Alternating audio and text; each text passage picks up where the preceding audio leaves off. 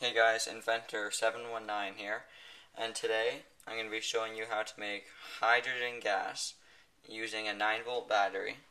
And you'll also need some salt. I have sea salt, but should work the same. Um, an electric wire cap. Just get them from the hardware store, but you probably have one around the house.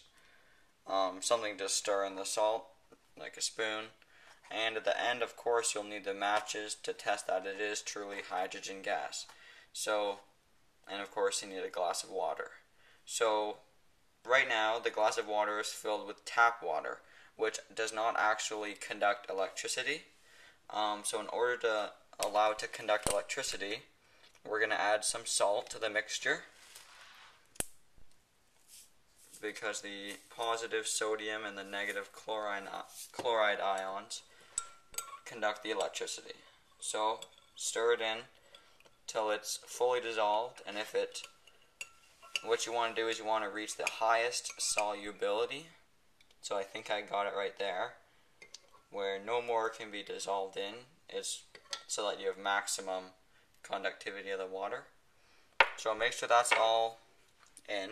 And then what you're going to want to do is you're going to want to place your 9 volt battery in the water and I'll show you just before I do this the large terminal is the negative terminal. It is the one that's going to make the hydrogen gas.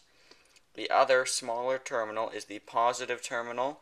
That makes chloride gas, but it comes out at a much less rate. So I'm going to go ahead and place it in the water, and I'll zoom in on the glass so you can see the bubbles coming out. So there's the bubbles coming out of it. And then what you're going to want to do is you're going to place the cap on top of it. Of course, fill it with water first so it does not float to the top like it just did. So there you have it.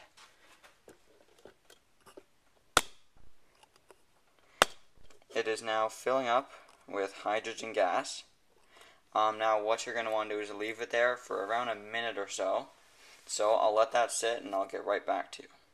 Okay, so it's been sitting for around a minute now. The water turned a bit of a brown green color. That's because of the rust from the um, terminals.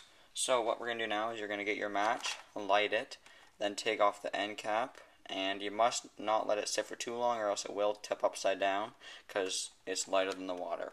So, lit the match. Here it goes. We're going to test. Lift it up, turn it over, Yep, it made a popping sound. I'll put it on and I'll see if I can get another go out of it.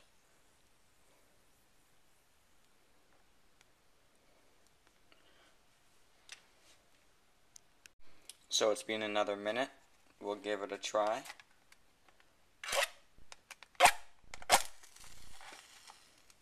Here goes. I don't know if you heard that popping noise, but that was the um, hydrogen gas.